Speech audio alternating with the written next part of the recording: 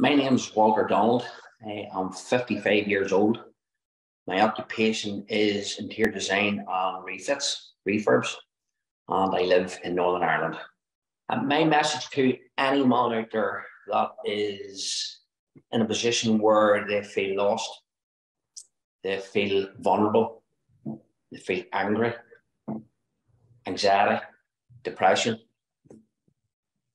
my advice would be don't be skeptical. Go with your heart.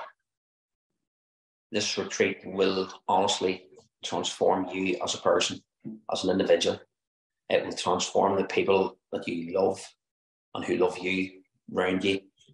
It will transform everything. Everything falls into place. So my advice to any man out there that is potentially thinking of doing anything, my advice would be please, please, please contact Men Without Masks.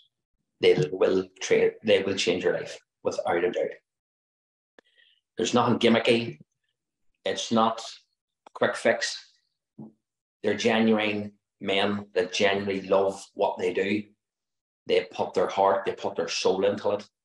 You will find that when you make that beautiful decision to go on the retreat, you will find after the first day that you've made the right decision. Trust me, it it will transform your life. So please, please, please, anyone out there, please go to men without masks on. This isn't scripted. This isn't. This is just me on a Zoom meeting telling my honest to God feelings. Please go with your heart, go with your soul, and it will make you such a better person.